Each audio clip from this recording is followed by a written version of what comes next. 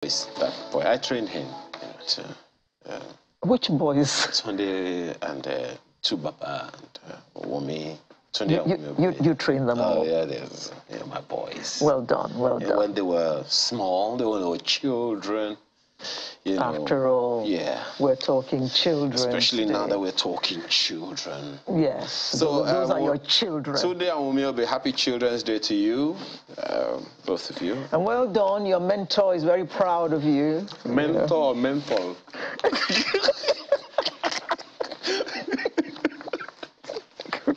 Well, that's my partner for you. Children are God's bits of wood, as they say in Francophone West Africa. You don't count them for their parents, just accept them as God's gift.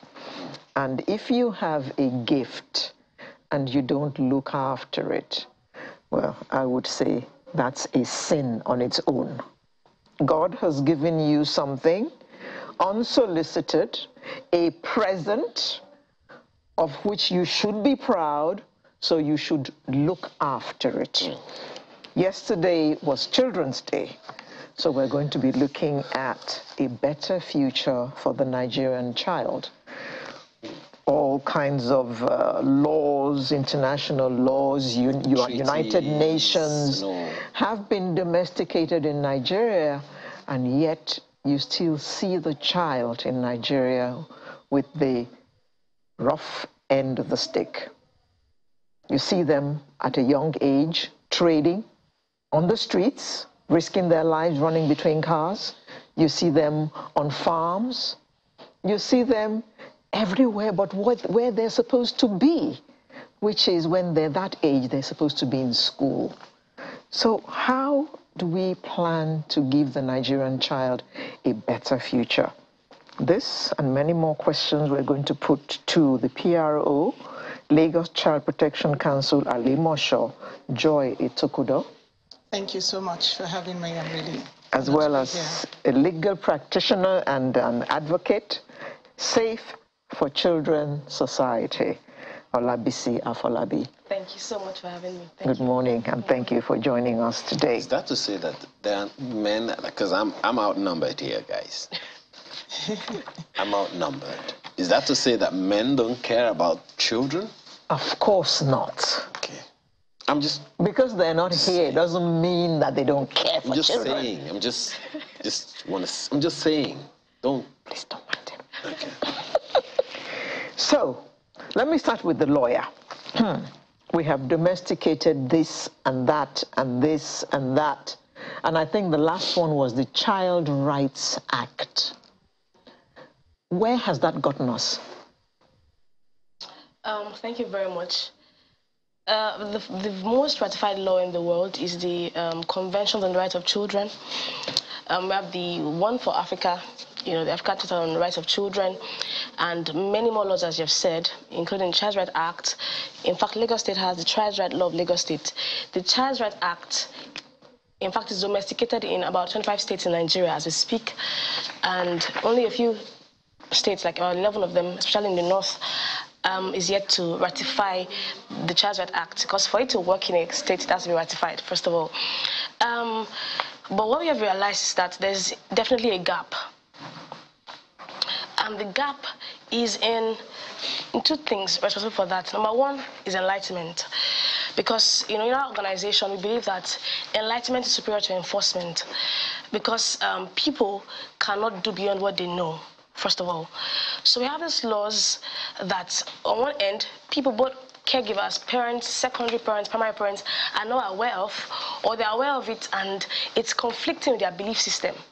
Because the law says, oh, a child should not be you know, should be protected from sexual abuse, physical abuse. You know, their rights are there in the laws. But, you know, um, sometimes belief system of parents, both primary and secondary, you know, conflict with the law.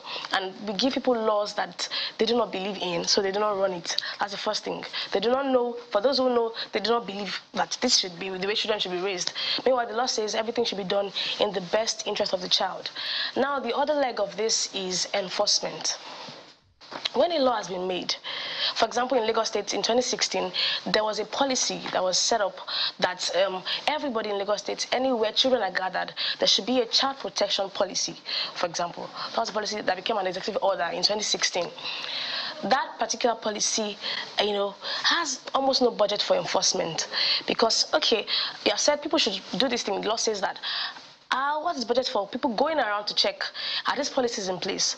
For places where the policy exists are they being run? Mm -hmm. even for government-owned institutions i mean private school public schools public institutions where children gathered this policy is being run. So the two legs are first enlightenment belief system of people. Thirdly we have the issue of enforcement. Until these laws are not just enforced, seem to be enforced because, not just because we want to make laws, because we want to see that children are being protected and their rights are enforced. Then we begin to have a conversation. So those are the issues. okay. That's an argument on one side of the divide, you know. But she's spoken to the government part of it. Um, and I know that you would want to speak to that. Uh, first of all, maybe we'll begin from there, you know, with you. Mr. Chukwudo, because uh, there are those who are wondering if the child, the, if the law for children in Lagos, the Child Rights Act domesticated in Lagos, um, is as strong as it is supposed to be, then I don't think you know such issues as she's raised would happen. And then um, there are many who would remember who would reference that conversation around, you know, some children on boats in Lagos, in, you know, uh, ramshackled uh, facilities in Lagos for education and all of those things. I know that government is doing its best mm. to make sure that those things do not exist Makoko. in Makoko, but mm. they are there. So we want to begin by at least speaking to the side of this child protection council that you belong to, what does it do? What does the council do? And how does it help to solve the problems that she's raised? Okay, yes, thank you. What we do in Child Protection Network is to help those children get to this place of having their best interest. Because, like the law says, everything should be done in the best interest of the child. But what we must know is that we have the population in Nigeria is so much, like take for granted Ali Alimosho, where I, I am the PRO. Alimosho is one of the largest local governments in Lagos State. And despite the fact that we're doing a lot as Child Protection Network, it seems like it's not enough. And one of the challenges we are having is that there's no support from anywhere. Most times, these things we do, we do um, as NGOs, because Child Protection Network is a, is a combination of several NGOs coming together to speak for the betterment of the Nigerian child. So we do these things in our own. We do child rescue.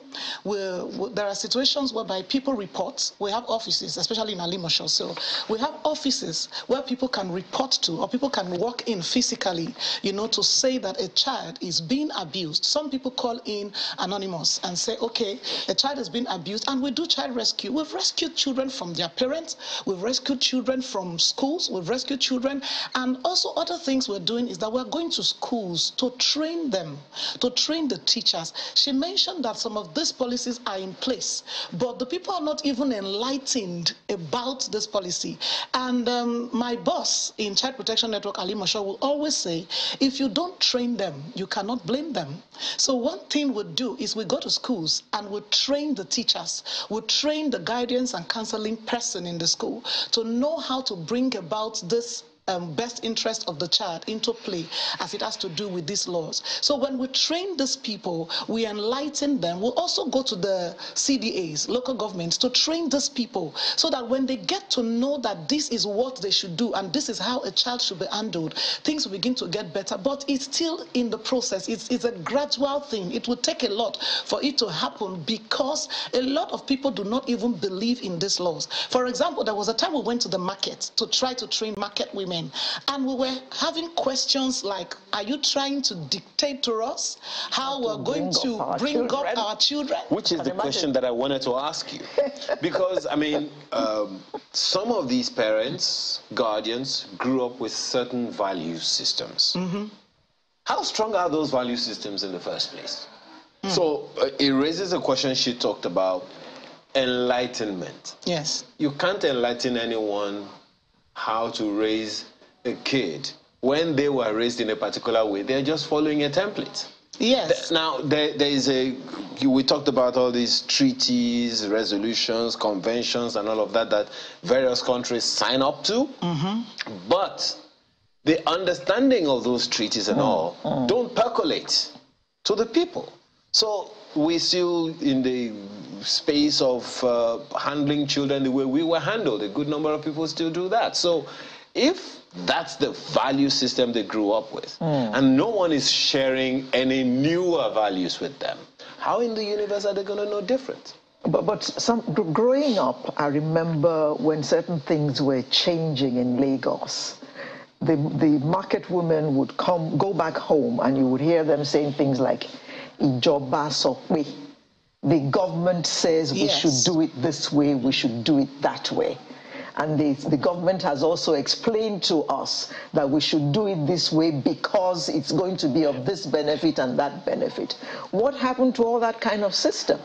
Yes, the, what happened to this kind of system is that these parents that we're talking to, about child protection. Uh, this is what the government has said. This is how children should be handled now. If you don't handle your children right, the government will come and take over your child. They don't go back to those systems of Ijoba Sowipe. You understand? Mm. The government says this, the government, because they feel that the present, presently, they feel the government has failed them. So people feel in their ah. minds that, oh, other things you have not addressed, things that concern us. You want to address my child's upbringing. You want to dictate what happened in my home when you're supposed to give us better leadership. You're supposed to, the economic water, situation is terrible. And one thing we must know is that the reason why parents seem to pay deaf ears to this thing we're saying about child protection is because the because of the frustration that is coming from other aspects of their lives. Some people are living in abject poverty, terrible. They don't know where the next meal is going to come from. They even look at the children and they know that these kids are going to go to bed with hungry stomach. You understand? the, oh. the children who come from poor homes are not the ones who do drugs. Because drugs are extremely ex expensive. So I heard, except for the ones that we buy OTC. But you know, let me come to not, not that those issues you're raising are not important. Yes. But you know, I'm just saying perhaps um, uh, it's not econo for economic reasons. Maybe there are some other considerations. Uh, this enlightenment thing that you talked about, yes. it's not for the poor parents because there are those parents who know these things who do not pay as much attention as they would need they, they, they need they to pay to hmm. those ch children. Thank you. They that as they should pay to the kids. So if they do not pay enough attention how in the universe are they going to give attention to any laws or treaties? Hmm. well I, I, would say that um, the issues are multifaceted, really. Um, it still comes back to um, means of livelihood. The thing is that in Nigeria, an average parent is a local government chairman. And what do I mean by that? He runs his home, he provides education for his child. So that rich man wants to give his child the best education because ordinarily child won't get it in the country. That man provides electricity, provides everything. So most of the times, these rich people as well are overwhelmed with making more money children are neglected, there are four forms of abuse that a child can face. Mm -hmm. One is physical, one is sexual, one is emotional. Neglect is one of the most rampant and not talked about form of abuse that the children face now. Neglect. Children are being neglected, actually. Because you see, um, there was a study that was done in a particular country, I think it was Singapore, where children were misbehaving. A lot of crime, the crime rate was very high. And the government said, see parents who would pay you, stay with your children for two hours more every day. And within a couple of years, we saw that crime rates reduced in that country. See, children that we do not have relationship with, I mean, give them rules and regulations. It's really a rebellion.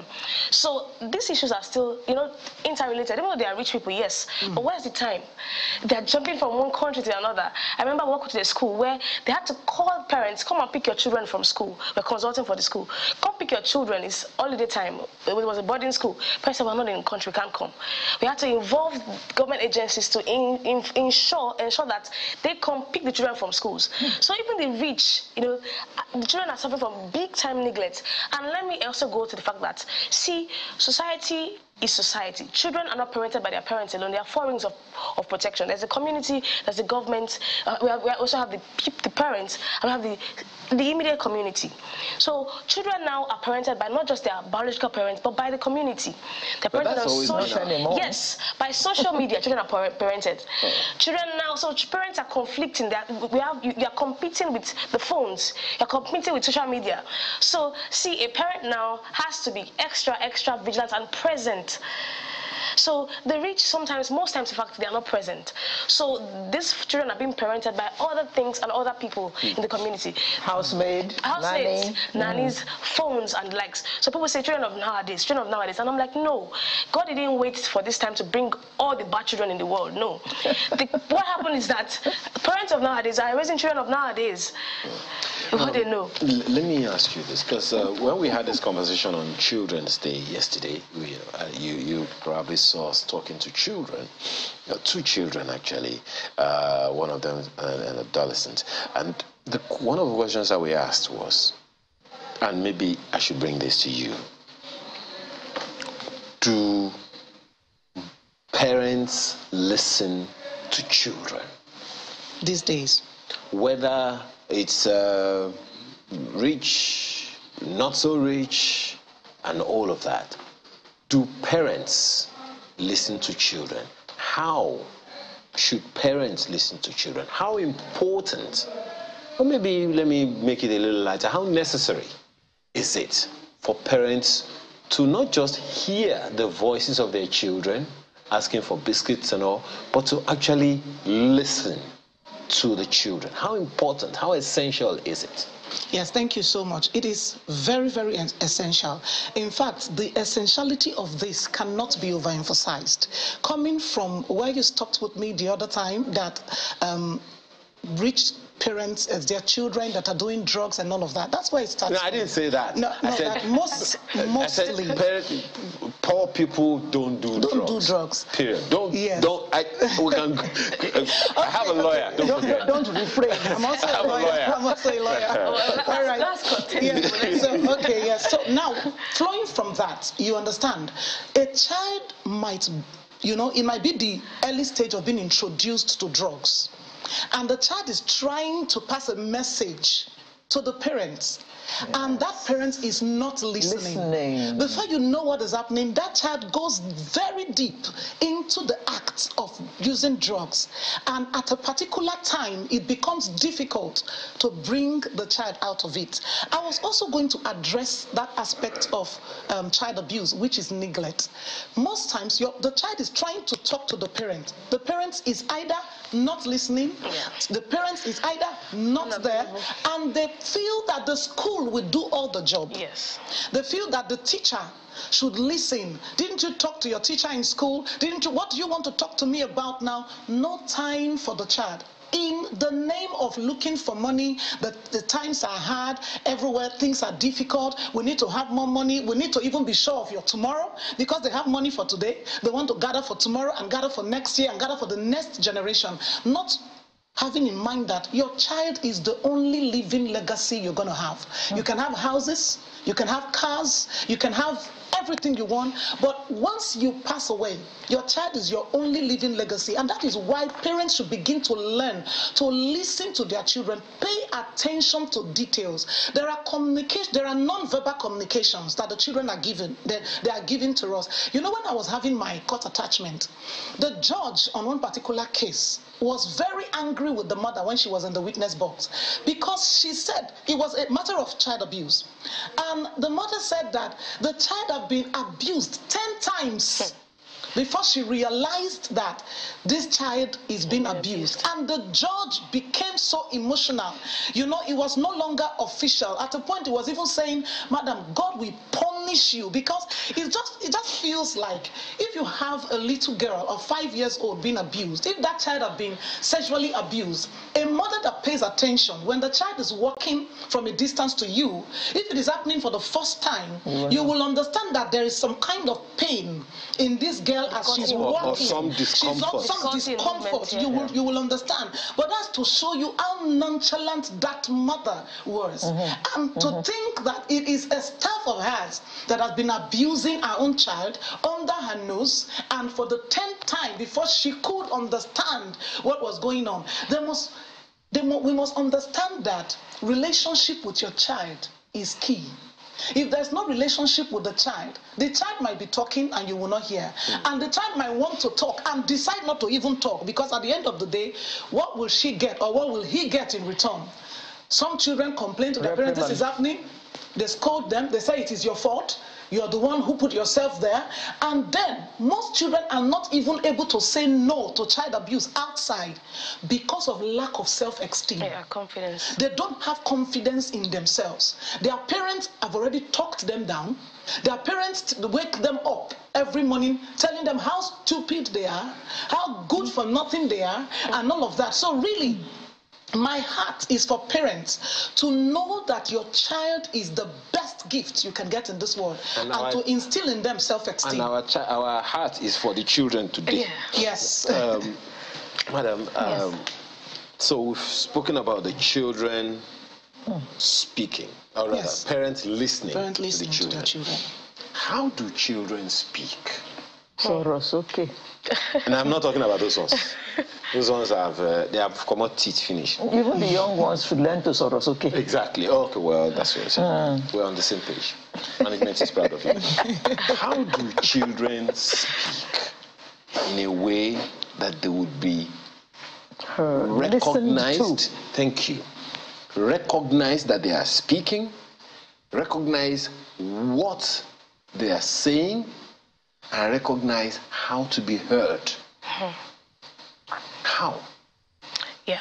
Okay, so I, I would start by saying that um, children are always speaking, actually. Children are always, always speaking. And, you know, children, somebody said that you don't, children don't care how much you know until they know how much you care. Right? So people ask me, oh, why do children talk to you? Why do children talk to you? The, the question is, the answer is very simple. Children are persons sometimes we call them minor, which is not even right. Because really they are human beings. They are persons complete, made by God. So they are persons because they have sense of they have sense of worth, they can think and they have power of choice. Really. So children see that this person or these people, they want to hear me. There's an enabling environment for them to speak. So how do children speak? Basically, they speak from when they are young, for start by crying. Children speak and you know they, they, they, protest. You put them down, they protest. They want that warmth. They call for mm-hmm. attention. As far as when they are little, as they grow up, they come and say, "Oh, mommy, why is this happening? Why is it that you know flowers grow? Why is it that they bring me back ten questions in a day? I'm tired. Come on, go and sit down. Especially when they don't have the answers. Yes, so they don't have the answers. Yes, yes, yes. Or they ask you about mommy, how are, chi- how are babies made? The stock. They're stuck. They don't know what to say. So when the child asks the first questions, ask why, why, why, and there's no answer. The child, you begin to you know kill that curiosity in a child. How was the aeroplane made? Children saw that birds were flying, and they said, "Oh, if birds can fly, how come human beings can't fly?" We'll see that human beings can fly as well. Those, those, those were the Wright brothers, and they sat down and made the aeroplane stereotype, the prototype that we're used Curiosity in the minds of children is always working. So when you shut down curiosity, then they don't speak anymore. And if I was talking to children, I always tell them, see, a child, speak until something happens. Because truly, children are, they're stifled. They're stifled. A child talks you, say, oh, don't talk back at me. I'm an adult. Don't, just don't look me in the eye. Culture. Right? Children are stifled. So I tell them, see, don't speak until something happens. So a child is being abused and apart from that, parents are not available. They tell mommy, somebody touched me, you know, in a particular way, and we say that, oh, that's that's your that's your uncle, my baby J. Ah, was supposed somebody touched you. What do you mean? That we will keep that. The child is like, okay, nobody believes me. Well, I tell children, see, keep speaking. Your mommy doesn't believe you. Talk to your pastor. They don't hear you. Talk to your teacher in school. Talk. They don't hear you. Talk to somebody that you can trust. Until something happens, keep speaking. But unfortunately, sometimes they are always speaking. Yes. And they don't get desired They don't get response, desired response. Yeah. and then they have to talk to someone else. Yes. Yes. and then they, they then sometimes they now get the the wrong Their friends. the Yes. wrong responses. Peer So so what I would say is that see until we actually look at children as a property of government, see parents do not own children. You have to realize that. So the people that can do this work is the government in the sense that in, in, in developed climes, a parent is not doing a child well. What do they do? They take the child and give them better care. Don't mm. forget that we have so much Social debt services. in Nigeria Yeah. now that we, we don't even know. Social- Well, I'm, I'm social coming, protection. I, I, I, I will come back there. You know, Alera, I'm, I'm seeing a series. I just finished watching uh, a, a, a series, a short, limited series, about six episodes, titled Clark, and uh, he's it's from this guy that the Stockholm syndrome came. Uh, but there's something in, instrumental about this guy. He grew up to be completely asentimental, unemotive. What happened? He had an extremely bad hand dealt him by his dad. From when he was something in the region of five to get a smile from the dad, a smile, not a commendation, just a smile from the dad. He looked forward to it. He, he hardly ever got it. And if he got a smile from the dad, almost as soon he'll get a spank on the the behind of his head. now, uh, you, you, uh, we, we're talking about a better, a, better future, Future. for the Nigerian child. I don't even want to go to the politics and all of those things that are happening today. But the clear and pres- present danger we are creating for these children by not giving them the simplest thing, which is the warmth. Yes. Attention. How, how, how important is this? Do you think parents even understand that it is as important as that? Because there are those who think that giving them warmth, welcoming them helps build their self-esteem. Do you think parents and guardians, even teachers, have that the understanding of how important that warmth is for children? Yes, I would say that some of the parents, teachers, caregivers, some of them have that importance, but they do not have enough. They don't know how important enough that is. And some some feel that they're giving attention to their children because they buy them gifts. Some some interpret attention and wants in the name of gifts. I pay your school fees. Mm. What else do you want? So they don't understand the place of being there, or the way I will put it, the place of being intentional with your child. You have a goal to achieve with your child. And, and like you said, I'm not interested in going to the politics of government and all of that because at the end of the day, it is your child. Mm. If you like, blame the government. If you like, blame society. If you like, blame community. If you like, blame the school that you pay millions for.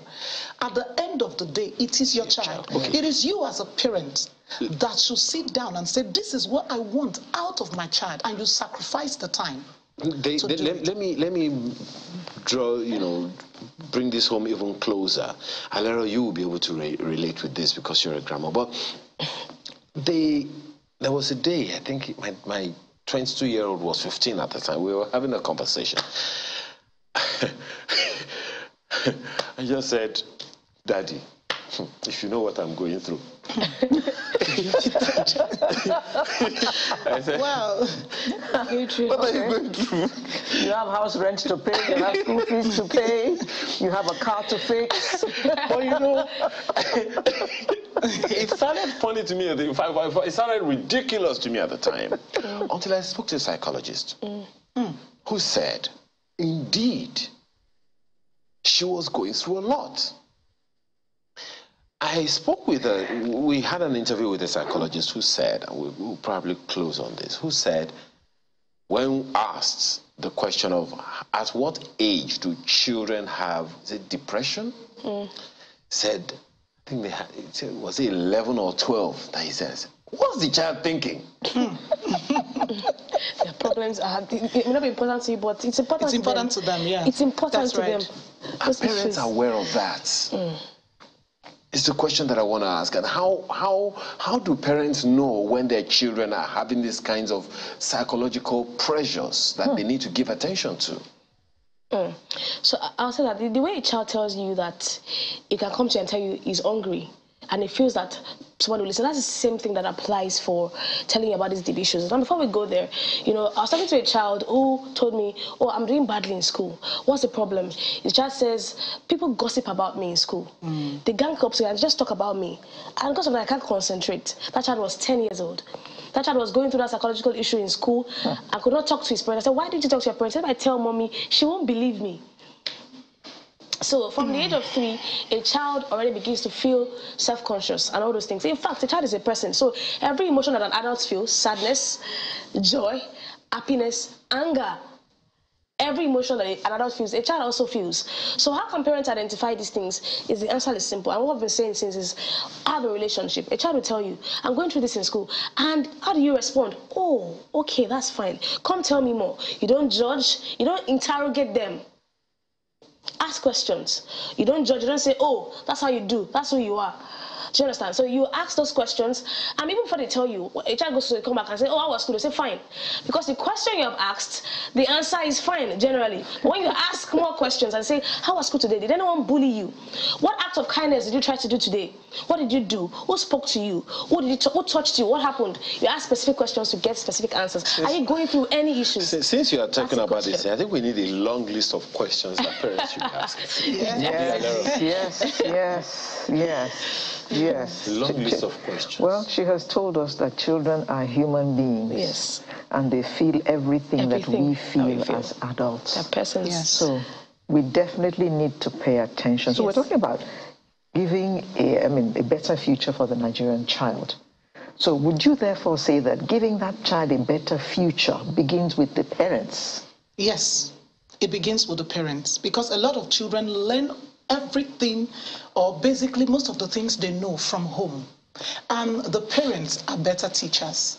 One thing we did not really touch here today is um, the sexual abuse that children are going through. Most times it starts even from the home, not from the school, not from outside people have cousins come to spend holidays with them. Mm-hmm. And before you know what is happening, if you are a parent that is not paying attention, the cousin of the child can be the one that in- start abusing the child sexually in your house. So a lot is happening within the family system, and most parents are not paying attention to it. So for me, I would say that we begin to have a better future for the Nigerian child when the parents are conscious of the fact that no matter what happens, no matter whom I have to blame, on the long run, this is my child. My and child. then we now look at good education for the children and all of that. But I would say it begins from the home.